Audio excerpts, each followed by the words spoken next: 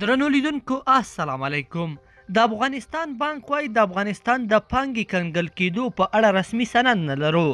د افغانستان بانک وايي چې تر اوسه پورې د افغانستان د پانګې د کنګل کېدو په اړه له اړوندو مراجعو څخه رسمي لاسندونه نه دي ورته رسېدلي یاد بانک د یوې خبرپاڼې په خپرولو سره ویلي دي چې دوی هم دا خبر د رسنیو له لارې ترلاسه کړی دی او ستونزه یې له طالب چارواکو سره شریکه کړې ده چې لازم اقدامات شوي او ژر به دغه ستونزه حل شي خبرپاڼه وایي چې له سوداګریزو بانکونو سره د ټولو هیوادوالو امانتونه خوندي دي او اوس مهال د سوداګریزو بانکونو فعالیتونه د هیواد په مرکز او ولایتونو کې پیل شوي دي د یاد بانک په خبره ټول سوداګریز بانکونه د افغانستان له لوري د جوړې شوي کړنلارې پر بنسټ خپل فعالیتونه ترسره کوي او ډیر ژر به د بانکي او مالي نظام ټول فعالیتونه په عادي حالت ته بیرته زر تر زره